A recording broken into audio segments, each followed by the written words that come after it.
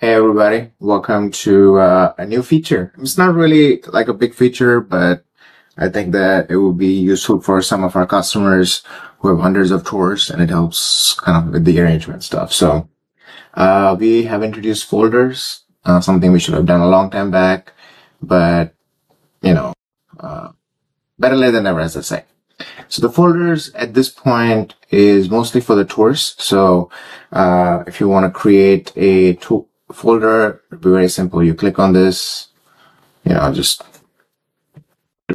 23, save it, and now you go into there's no tours.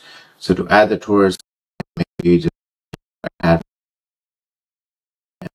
uh, just select the tour want.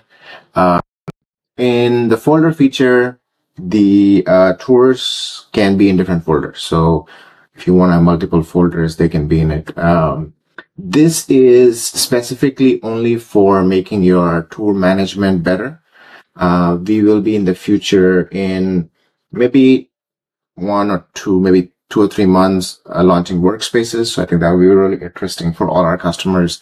And workspaces will allow you to uh, only give certain number, certain tours access to certain customers. And I think that would be interesting. Uh, so yeah, here I've selected and then I just add uh, save to folder. I do here. If I want to add it to, let's say another folder, I can do that. Done.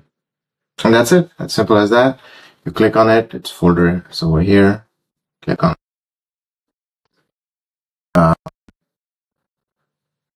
and then if you want to did the folder, the folder here.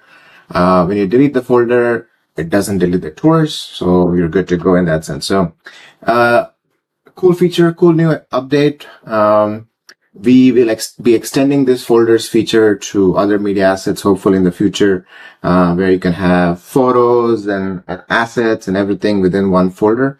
It's a bit more complicated, uh, but uh, hopefully we'll get there soon. All right. Thank you for um, listening to this very, very short video. All right. Take care.